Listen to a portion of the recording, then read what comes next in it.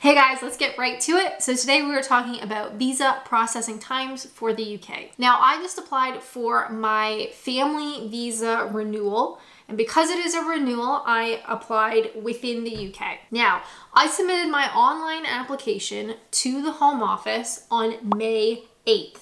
The earliest biometrics appointment I could get was May 20th. So for all visa types, whether you are doing the family route like me or the youth mobility scheme visa, your process, your visa comes in two parts. The application that you submit online to the home office and the biometrics appointment where you send off all of your supporting documents. You have to have both. And really the countdown to your result only really starts after your biometrics appointment because that is when all of your supporting documents are finally sent off to the home office. And obviously, the home office can't make a decision on your application without the supporting documents. So I received my result from the home office, which came in an email on June 13th. So after my biometrics appointment, that was about three weeks or 17 business days. Now, my result came as an email because again, I am renewing a visa while in the UK. But depending on your type of application,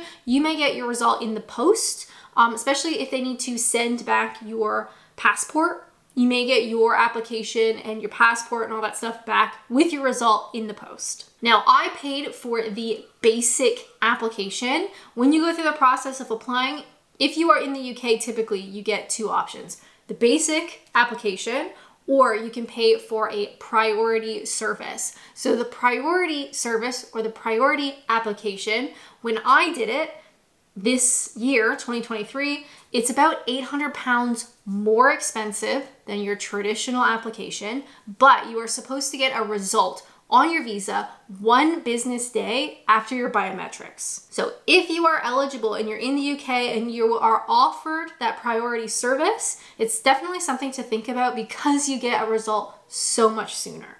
But if you aren't in a rush, 800 pounds extra is quite a lot. Now, just two days later, I get my email. I've been approved. My application has been successful.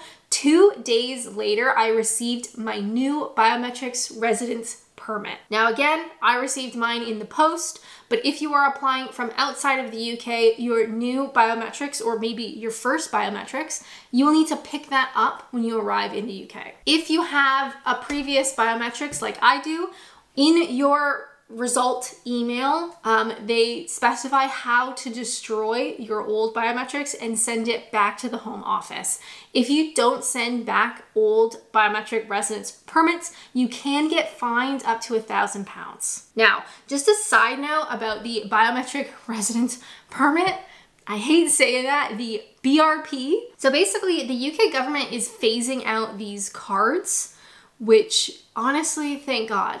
I don't know why they still do cards now, but they are about to phase them out. So for example, even though my latest visa that I've just been approved for is good until 2026, my newest BRP expires in 2024 which made me panic. But if you actually read the guidance that comes with the card, it basically says that yes, the cards are going to expire at the end of 2024, but that is just because at that point we will no longer have these cards. So my visa is still good until 2026. It's just the card itself is going to expire and we will no longer be using cards after 2024. So if you happen to be in the same situation, do not panic. Now, you may be thinking, well, what if I'm on a different visa or I am waiting on a result for a different visa? Now, of course, this is just my experience, but I have reached out to a bunch of different fellow expats. Um, one person said they got a result within one week